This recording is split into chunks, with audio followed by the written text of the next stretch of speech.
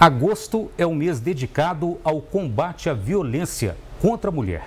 A campanha Agosto Lilás promove diversas ações em todo o Brasil para conscientizar a sociedade sobre a importância de prevenir e combater esse tipo de violência.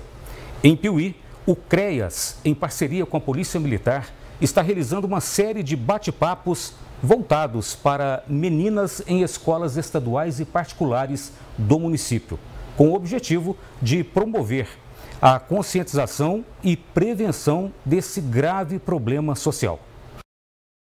De sala cheia, o auditório do Colégio Horta recebeu as estudantes para um importante bate-papo. Organizado pelo CREAS em parceria com a Polícia Militar, o encontro faz parte das ações do Agosto Lilás, uma campanha dedicada à conscientização e prevenção à violência contra a mulher. Neliane, coordenadora do CREAS, enfatizou o alcance do projeto, que será realizado em todas as escolas da cidade, e a relevância da campanha, especialmente neste ano, que marca os 18 anos da Lei Maria da Penha. O nosso projeto esse ano chama Papo de Meninas. É, a, o combate à violência doméstica e os 18 anos da Lei Maria da Penha. Então, a nossa atividade vai ser realizada com todas as meninas do ensino médio de toda a rede de ensino do município, é, atingindo escolas públicas e escolas particulares. A sargento Andresa destacou a importância do trabalho da Polícia Militar na proteção das mulheres. É, iremos em todas as escolas da cidade de Piuí. É, a gente vai falar sobre Agosto Lilás, sobre a campanha né, Agosto Lilás, que é, a gente vai fazer ações de prevenção de combate à violência doméstica.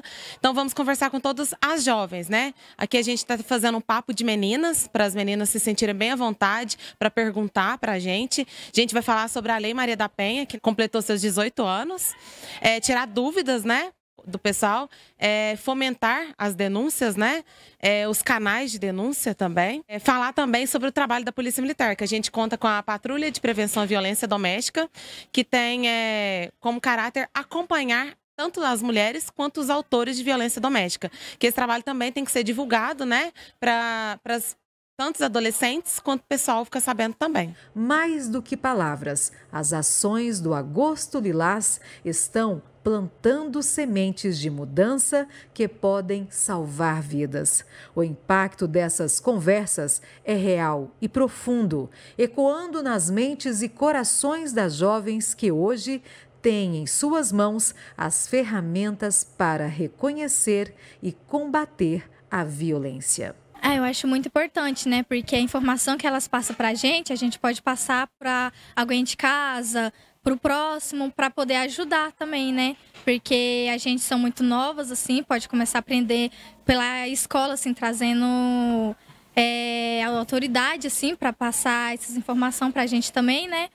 São meninas ainda estão desenvolvendo, então a gente já começa de novo, assim, aprender a como procurar ajuda, como não se envolver com pessoas erradas.